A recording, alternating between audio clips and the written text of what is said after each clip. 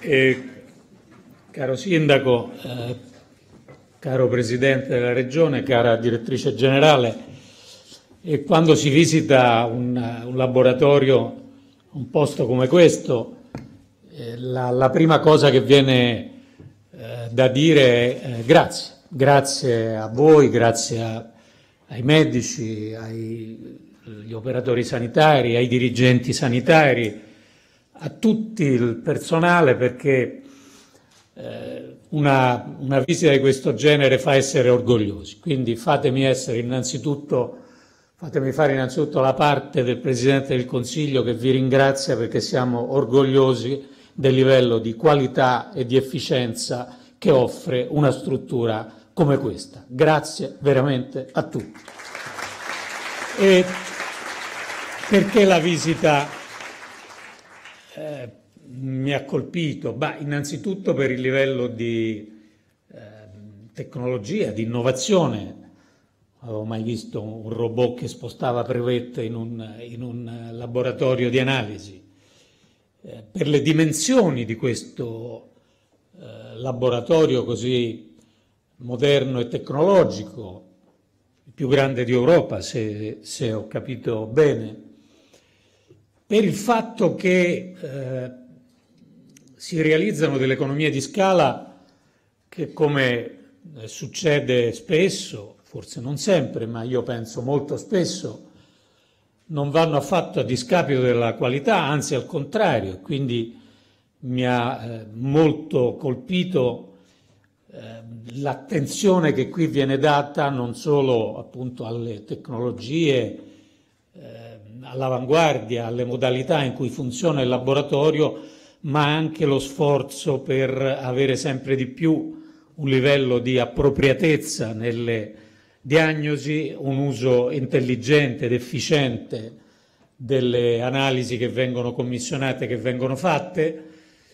al punto che si è orgogliosi di dire che c'è stata una riduzione, se ho capito bene, nel numero di eh, analisi complessive che vengono fatte.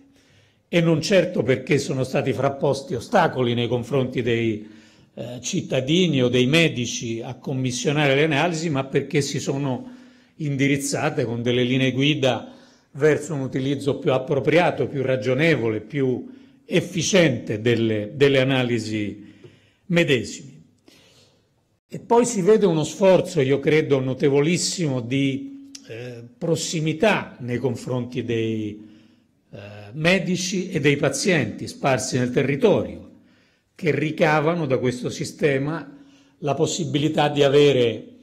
chi in rete, chi a domicilio, chi attraverso il proprio medico molto rapidamente eh, referti, accurati, informazioni eh, nella totale affidabilità e sicurezza. Quindi per questo io credo che dobbiamo essere orgogliosi di una realizzazione come questa che ha comportato anche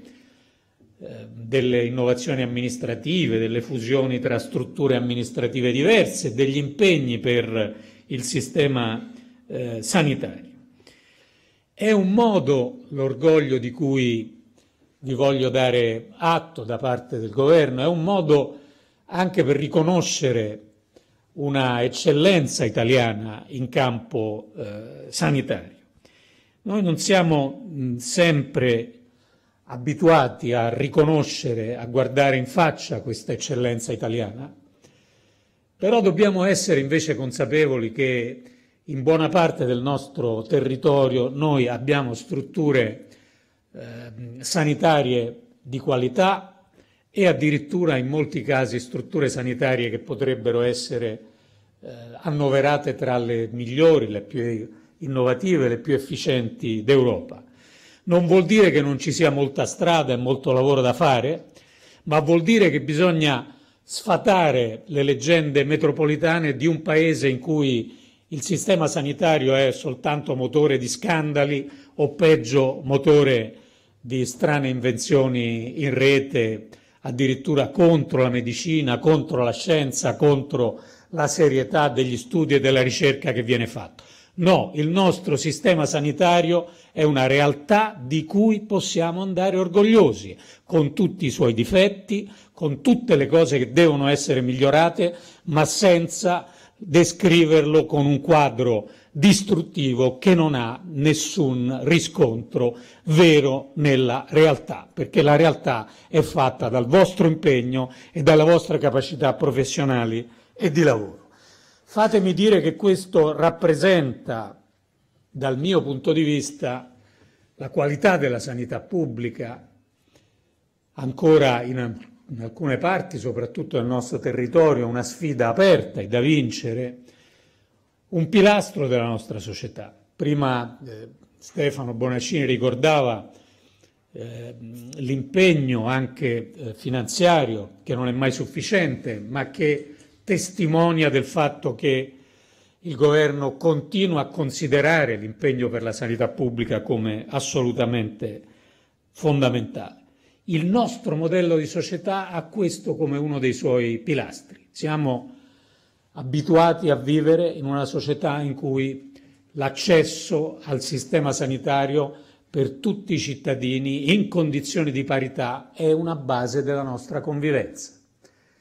Sembra una cosa banale e in fondo in Europa è una conquista consolidata da tempo, ma non è una cosa banale. È uno di quei valori, lo dico oggi che per l'appunto, come ricordava Stefano, è la eh, festa dell'Europa, è uno di quei valori che fanno la differenza della civiltà e delle società europee rispetto ad altre realtà. Quindi noi siamo abituati a questo valore ma quando lo riconosciamo ci rendiamo conto di quanto sia importante avere una sanità pubblica aperta a tutti i cittadini. In un contesto come il nostro, italiano, in cui noi certamente abbiamo dei livelli di qualità della vita elevati, delle aspettative di vita molto longeve rispetto al eh, contesto di altri paesi, siamo uno dei paesi che ha, come sapete, le aspettative di vita più elevate. E tuttavia questo non solo non riduce la domanda di sanità, ma tendenzialmente, come sapete bene, la aumenta, perché questa meravigliosa realtà che è l'invecchiamento della nostra popolazione, che non è un problema, ma è una conquista meravigliosa, ovviamente carica sul sistema sanitario responsabilità sempre più rilevanti e poterle affrontare in modo efficiente è sempre più decisivo. Lo voglio dire non soltanto sul piano della qualità dei servizi sanitari, direi più in generale il fatto che una società in cui le persone per fortuna raggiungono un'età che fino a alcuni decenni fa era più difficile raggiungere, sono anche delle società che spesso esprimono più che in altri casi un grande bisogno di sicurezza. Cioè l'invecchiamento della popolazione produce un grandissimo bisogno e desiderio di sentirsi tutelati, protetti, sicuri. E la sicurezza non è mai soltanto una questione di ordine pubblico. La sicurezza ha tanti fattori e per le persone che vanno avanti con gli anni è fondamentalmente sempre più qualcosa che ha a che fare con l'affidabilità, la prossimità, la reperibilità di un servizio sanitario pubblico efficiente. E quindi con il vostro lavoro voi date, a mio parere, assieme naturalmente a tutte le altre componenti dello Stato che contribuiscono alla sicurezza, un grandissimo contributo al fatto che i nostri concittadini si sentano più sicuri. È un diritto, però è un diritto prezioso nella società in cui noi oggi eh, viviamo e anche di questo credo dovete essere orgogliosi. Infine voglio dire al, al sindaco e al Presidente della Regione che il Governo, eh, non solo nel campo della sanità, ma anche nel campo degli impegni con la Regione e con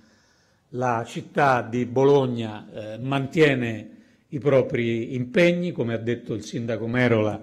lavoreremo nelle prossime settimane per definirli in modo eh, completo, ma abbiamo un impegno e l'impegno verrà mantenuto. E al tempo stesso